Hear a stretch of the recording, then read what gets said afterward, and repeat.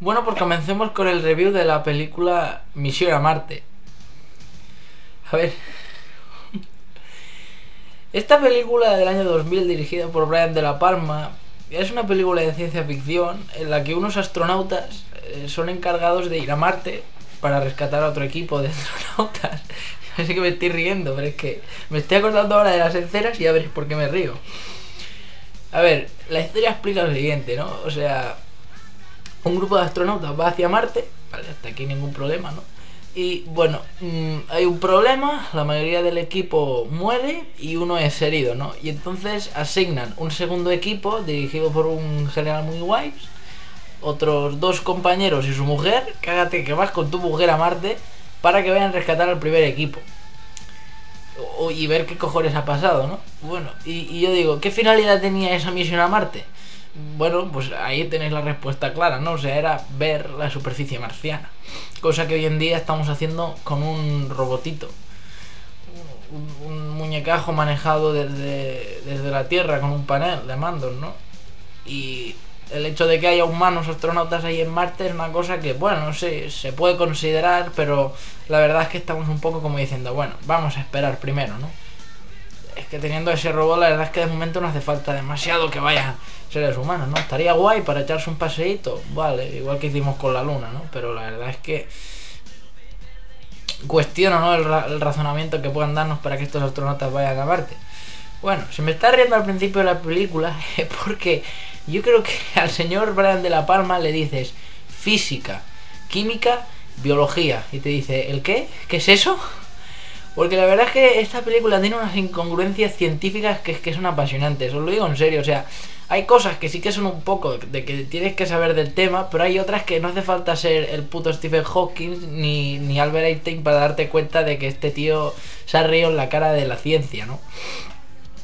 A ver, eh, aparte de lo cuestionable que resulta de que tres astronautas y, y la mujer del capitán vayan a rescatar un equipo del cual no sabemos nada ni, ni podemos obtener respuesta a Marte, pues hay cosas que de verdad es que son de cachondeo. O sea, a ver, la película entretiene.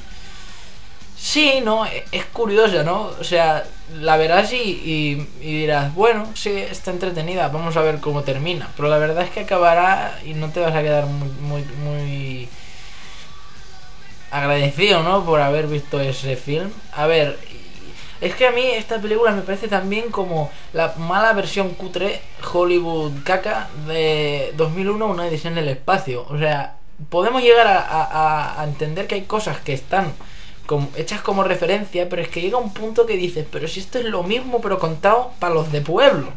Y mal contado, porque se pasan por el forro, como he dicho, todas las leyes de física, etcétera, etcétera. O sea, bueno, tienes una película que te ofrece eso, ¿no? Que, que, vas a ver que hay en Marte, ¿no? La obsesión que tenemos con Marte es muy peculiar, ¿no? Pensé que ahí es un montón de roca y no hay nada, ¿no?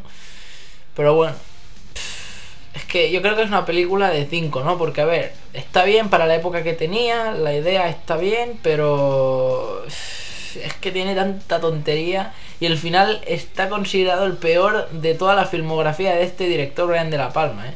O sea, que cago lo que os estoy diciendo.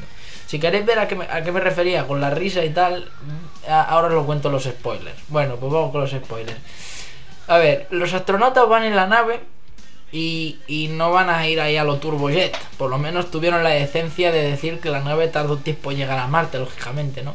Y bueno, en la nave tienen ahí, eh, pues claro, provisiones. Eh, y también deben tener pues oxígeno y tal y cual para que los astronautas no se asfixien ni nada. Pero, tate, porque coge Brian de la Palma y dice, no, como son muy listos los astronautas, en vez de poner que, traen un almacén con comida y tal, comida normal de astronauta, vamos a poner que tienen ahí una especie de invernadero, ¿no? Y que tienen ahí plantas y que las cultivan para, pues eso, para sacar alimento. No te vas a traer un par de vacas ahí y para que, para sacarle leche y luego que tengan vaquitas y poder seguir comiendo. Sería muy ilógico, ¿no? Pero claro, mm, ¿usted se ha parado a pensar, señor de la Palma, cómo van a estar esos astronautas? O sea, yo es que los veo muy bien en la película, pero ¿me puedes decir... o sea, vamos a preguntarle a cualquier nutricionista y te voy a decir que nadie puede sobrevivir de comer solo acelgas y, y lentejas. Porque no sé qué plantas tienen ahí, pero desde luego no tienen de todo como para tener. Para recibir unas proteínas y, de todo normal, ¿no? Es que es imposible, que sí, que, que, las cultivan y que así tienen recursos ilimitados, podríamos decir, pero que, no, que, que, se van a desmayar, les va a faltar hierro a esos astronautas. a la NASA nunca se le ocurriría hacer eso, por favor. Y luego, estamos hablando de una nave que está cerca de la superficie de Marte, vamos, como si estuviera en Marte. Usted, a ver, esas plantas que sí, que cogen CO2 y, expulsan oxígeno, que eso, que eso está muy bien, pero que las plantas también necesitan oxígeno. Sí, señor de la Palma, las plantas también necesitan oxígeno para vivir. Y al estar en Marte, pues, pues no sé si os ha mirado usted un mapa del sistema solar, pero ahí llega un poquito menos de luz solar. Y esas plantitas no podrían vivir ahí se les tendría que dar una fuente de luz o de algo. Más que no explica muy bien si las riegan o tal. Pero bueno, pasando otra cosa, porque podría estar reventando lo de las plantas continuamente, ¿no? Eh, cágate, bailecito en el espacio de los astronautas. Para cagarse. O sea, pensaba que esto era una misión seria. Luego, hay un problema. Están ahí para hacer la misión de. O sea, el aterrizaje a la superficie y cogen y hay un problema y uno se, se, se, se, desengancha, no sé qué coño le pasa, y se va para la superficie del planeta, ¿no? Claro, al, al, atravesar el, el de orbitatorio se desintegraría. Y tienen que ir a. Y, la mujer se, se, eh, se obsesiona con salvarlo, ¿no? Pero vamos a ver, señora. Yo entiendo que usted quiera mucho a su marido, pero si es usted profesional y es usted un astronauta de la NASA, no va a sacrificar su vida ni poner en riesgo la misión, ni a los demás tripulantes, ni a todo el material que tienen ahí, porque usted quiera salvar a su marido. Y claro, si es por decir eso, pues yo ya digo que directamente la NASA no va a meter a Mario de mujer en una nave para que vayan a hacer una misión tan importante como esa, pero bueno. Tragedias por aquí y tal, que el tío se muere. ¡Oh, qué triste, qué tragedia! Bueno, te cagas, ¿eh? Porque luego llegan a Marte y, y andan como si van aquí por la Gran Vía. Pero señor de la Palma, usted cojas un libro y usted podrá, un libro de, astrofísica o lo que usted quiera, se dará usted cuenta que hay una cosa que se llama gravedad y que en Marte eh, la gravedad es un tercio de la Tierra, por lo tanto esos astronautas no pueden ir andando así tan felizmente. Hay que ir pues, con, pues, con, cuidado para intentar salir volando, ¿eh? como pasaría si van a la Luna o a cualquier otro planeta que tiene una gravedad diferente, un nivel de gravedad diferente al de la Tierra. Pero bueno, ¿qué coño es esto? Ah, sí, luego otra también muy divertida. Que están en la nave y te cagas porque oyen unos ruidos.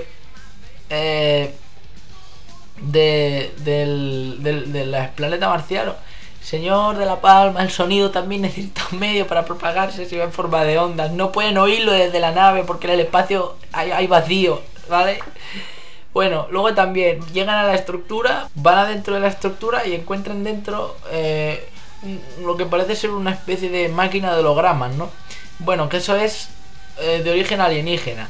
Entonces, en vez de intuir que esos seres alienígenas eh, mandaron cápsulas a la Tierra para que se formara vida y de ahí salimos nosotros, o sea, la explicación es que sí, que nosotros somos producto de alienígenas que nos mandaron a la Tierra.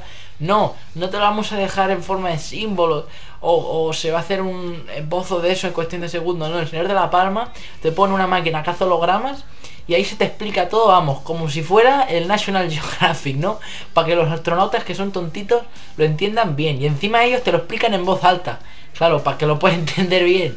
Claro que si eres sordo, cuidado que a lo mejor pillas solo la mitad de la información, ¿eh? O ponle subtítulos o algo. Y, y no es que al final coja el astronauta y se vaya con los alienígenas a, a, a saber más, ¿no?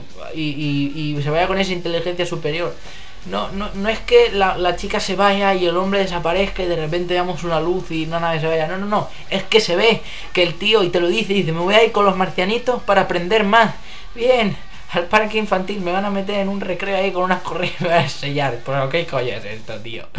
O sea, veis que no puede ser, que no puede ser. O sea, hubiera pasado lo de las plantas por alto si no hubiera habido ningún otro error, pero es que es un cachondeo esta película, es un cachondeo. Le pongo un 5 porque, mira, me hizo gracia la idea y los efectos están bien a ratos, porque parece la Play 2 algunas secuencias, pero bueno, es lo que hay. Misión a Marte, vamos para allá.